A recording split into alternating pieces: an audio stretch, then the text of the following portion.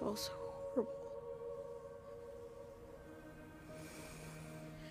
Yeah, I can't imagine. Yeah, but Evan will pull through this. And so will you.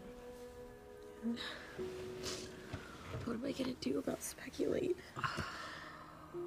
You know, Evan had no right making you proxy without your permission. But he did. How can I go back to that place? I mean, none of those bro holes are gonna take me seriously as interim CEO. No, you don't have to go back to Speckulate. Mariana, you're under no obligation to do this. I'm not. No, absolutely not. Just tell his lawyer you don't accept. You're right. Okay. That's what I'll do. Okay.